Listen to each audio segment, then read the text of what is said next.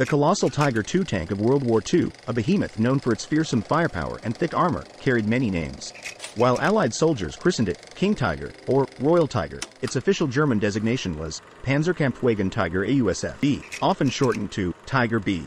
In German, the tank was informally called Königstiger, which literally translates to King Tiger.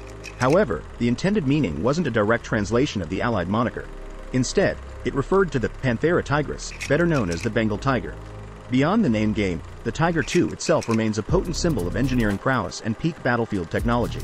Its thick armor and powerful gun made it a formidable opponent, capable of inflicting heavy casualties. However, because of its complex mechanics and high production cost, less than 500 Tiger II tanks were produced. Did you know?